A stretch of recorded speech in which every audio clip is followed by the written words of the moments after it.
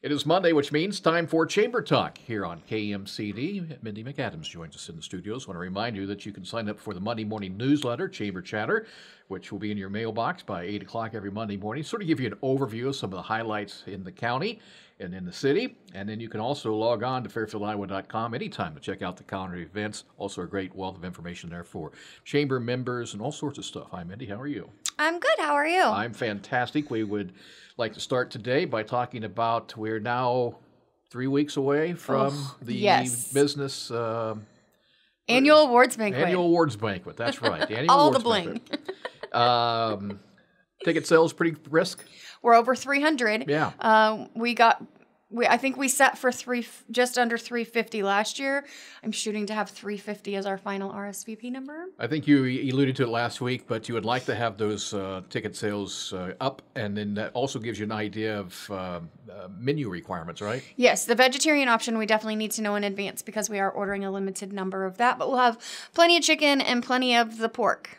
It sounds fabulous. Uh, I know we can't uh, discuss who uh, or whom, but the um, the past chamber uh, citizens of the year got together last week. Did I get that right? Yes, did you, yes, uh, I was in the presence did you of bo- greatness. boil it all down? You got somebody? Yeah, it was it was a very interesting um it's a very interesting mix of folks um and they they looked through all the applications. There was some really good discussion.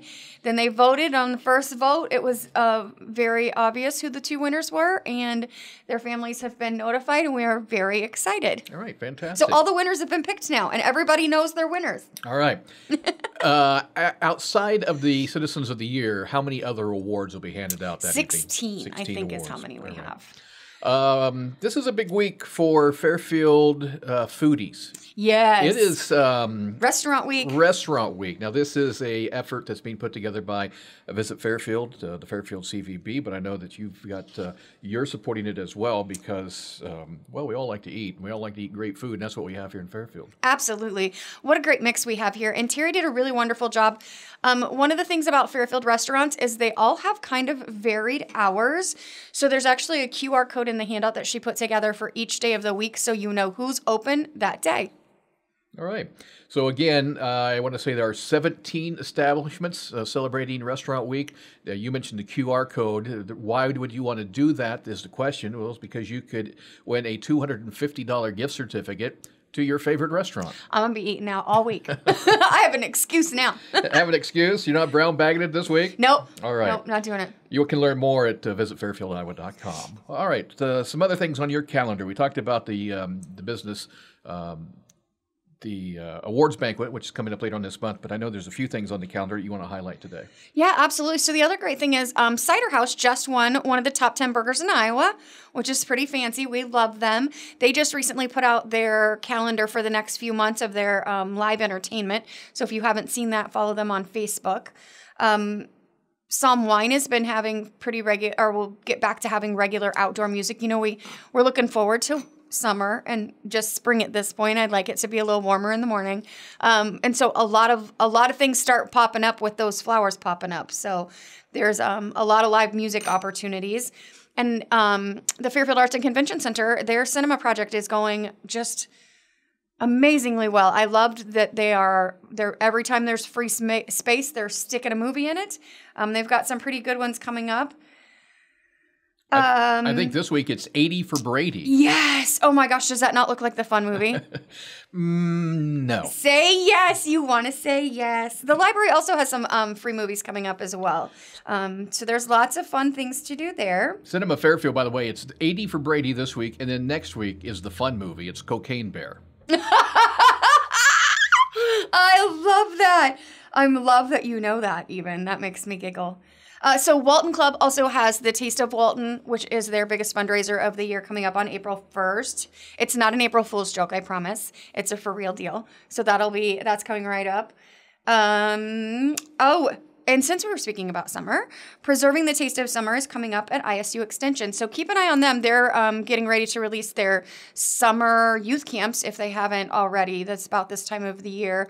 Um, so get those youngins signed up because it fills up pretty quickly. There's a waiting list fairly quickly on that one. Yeah, and that preserving the taste of summer, it's an opportunity to learn more about preserving your uh, garden produce, whether it's freezing or canning, uh, preserves, whatever it might be. Drying be. it, yeah. So you can give them a call at the extension office. I love that. I've taken that one. That's a really good class. 472 4166, I think, is the phone number out there. Look at you knowing stuff. Yeah. So we had our first meeting about Barnyard Bash this past week. The committee met to talk about the. Um, we read. We really take our surveys um, very seriously. We read through them and we make adjustments to how things work um, based on that. So we'll have more food because that was definitely um, one of our biggest feedbacks. Is because there were so many people. You, I mean, you can't uh, come. I mean, if you don't know, it's not a thing that people RSV for. We ran out of food pretty quickly, um, and we've we will be um, spacing out the vendors more, so people have more space um, and they can move around more. Um, so that's coming up the first Friday in September. So we're excited about that one. And then Blast Off is right around the corner. Um, if you want to golf, you need to get signed up. Ladies will be playing at the Country Club this year, and the gentlemen will be playing at the Walton Club. And the night before, we are bringing back the party again. Um, Cattlemen will have the ribeyes um, meal again. We'll have a smaller auction because we will be making a very big announcement about the party pretty soon.